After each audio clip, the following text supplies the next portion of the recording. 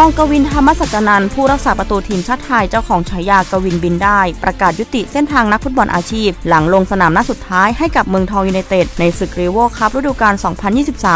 2023-2024 รอบชิงชนะเลิศเมื่อวันอาทิตย์ที่ผ่านมาทั้งนี้กวินทร์ได้โพสต์เฟซบุ๊กอำลาการเล่นฟุตบอลอาชีพ โดยเนื้อหาช่วงหนึ่งระบุว่าได้ใช้ชีวิตกับการลงเล่นฟุตบอลอาชีพตลอด 17 ปีที่ผ่านมา การลงเล่นแมตช์สุดท้ายให้กับเมืองทองยูไนเต็ดเป็นความทรงจำที่มีค่า เราร่วมเดินทางมาด้วยกันตั้งแต่การสู้เพื่อขึ้นลีกหนึ่งจนถึงปัจจุบันขอบพระคุณผู้ใหญ่โค้ชทุกท่านในทุกช่วงเวลาของชีวิต ขอบคุณทีมชาติไทยบ้านที่อยู่ในใจเสมอ ผมเหมือนได้เกิดที่นี่ได้ทำตามความฝันของเด็กผู้ชายธรรมดาคนหนึ่ง ที่อยากเป็นนักฟุตบอล อยากได้เป็นตัวแทนคนไทยออกไปแสดงตัวตน ความเป็นทีมชาติไทยกว่า 69 แมตช์ที่ลงเล่นทีมชาติชุดใหญ่ เป็นสิ่งที่มีค่ามากในชีวิตผม ขอบคุณแฟนบอลทุกคนทุกสโมสร ขอบคุณคนไทย ขอบคุณสมาคมฟุตบอล บุคลากรฟุตบอล สื่อมวลชนทุกท่าน ที่รวมโตเคียงบ่าเคียงไหลด้วยกันมา ขอกำลังใจให้พวกเราได้พัฒนาวงการฟุตบอลให้แข็งแกร่ง ตั้งแต่รากฐานและเติบโตยิ่งยิ่งขึ้นไป อย่างไรก็ตามกวินระบุในช่วงท้ายของโพสต์ว่า ได้ตัดสินใจมาอย่างดีแล้ว และพร้อมจะเป็นหนึ่งในแรงขับเคลื่อนพัฒนาฟุตบอลไทยต่อไป